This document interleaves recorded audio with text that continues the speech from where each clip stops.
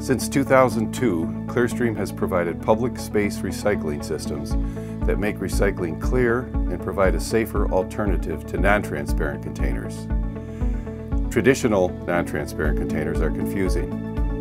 ClearStream bins help visitors to know visually what goes where without having to think or read about it. Most visitors are eager to comply, but up to 20% may still throw their recyclables into the trash even when there is a convenient alternative.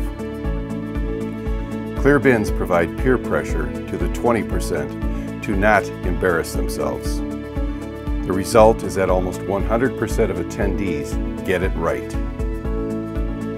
Due to increased concerns about public safety at mass public gatherings, more events and venues are replacing their non-transparent containers with both portable as well as stationary ClearStreams. The mobility of ClearStream's compact folding frames and nesting lids make it easy to transport, set up, store, and share the bins between events.